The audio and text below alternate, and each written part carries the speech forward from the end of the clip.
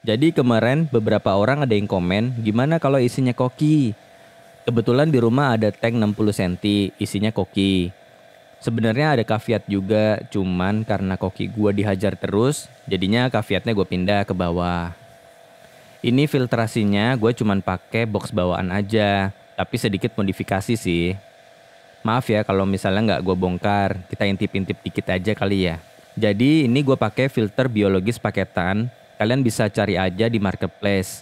Terus yang bagian pipa pembuangannya itu dikaretin, diagak dinaikin dikit, biar filter biologisnya kerendam. Banyak kok tutorialnya di YouTube.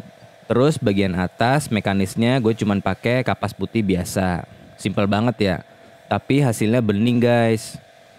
Filter ini udah lima bulan, gak pernah gue bongkar dan gak pernah juga gue bersihin. Perawatannya gue cuman cuci kapas aja sama nambah air aja. Jadi sekali lagi gue bilang, filtrasi itu nyesuaiin kebutuhan, sama juga nyesuaiin sumber air yang kalian pakai. Gak ada yang benar atau salah. Baiknya ya lihat dulu kualitas air kalian. Gua pakai PDAM yang memang sumbernya aja udah bening. Kalau air sumur gua rasa beda lagi pasti filtrasinya. Gue juga banyak penyesuaian kok guys sebelum nemuin filtrasi yang fix kayak gini. Sebelumnya ya butek aja, walaupun gua pakai barang-barang mahal juga sama aja tetap butek. Malah dulu pernah punya silver albino, terus mati karena amonia boom. Karena di filter gua ada karbon aktif, terus gua kasih garam ikan.